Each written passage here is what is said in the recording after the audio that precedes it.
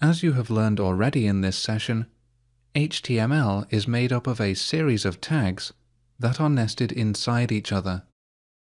In large HTML files, it can become increasingly difficult to relate what you see in Design View to the code in Source View.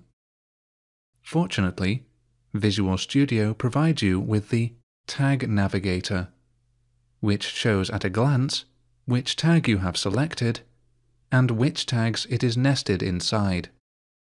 To begin this lesson, open the HTML test sample file from your Sample Files folder.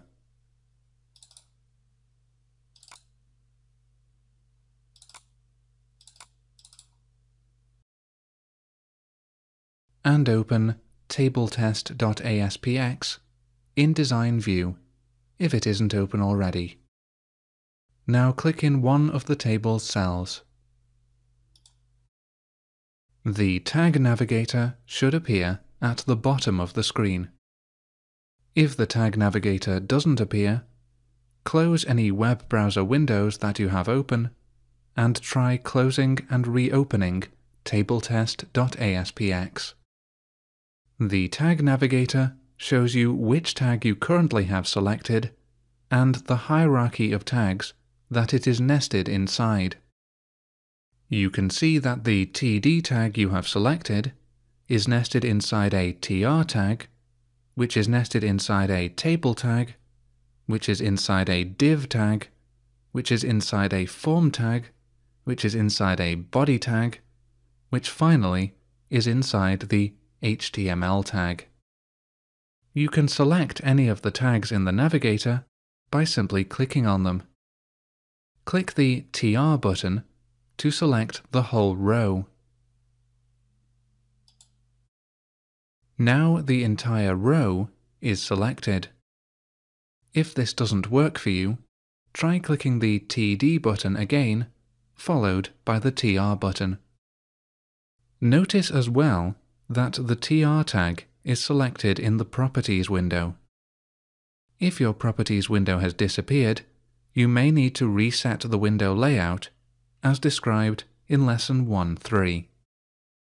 Next, select the entire table by clicking the Table.AutoStyle1 tag in the Tag Navigator.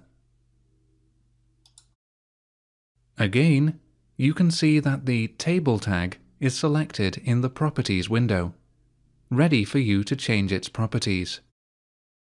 Next, you're going to use the Tag Navigator to select only a tag's contents. Click on Cell 5 and hover your mouse cursor over the TR button in the Tag Navigator. You'll notice that a black down arrow appears to the right of the button. This indicates that there is a drop-down menu. Click the down arrow next to TR and click Select Tag Content. Now only the text inside the TR tag is selected. Press the Delete key and the contents of the cells are deleted, but the cells themselves are left intact. Note that a lot of Visual Studio's interface is standardized across the application. Deleting is a good example. Pressing the Delete key will delete whatever you currently have selected, whether it is a control in Design View or a file in the Solution Explorer. The same is true if you right-click and then click Delete from the shortcut menu. Close your web browser now, saving your changes if prompted.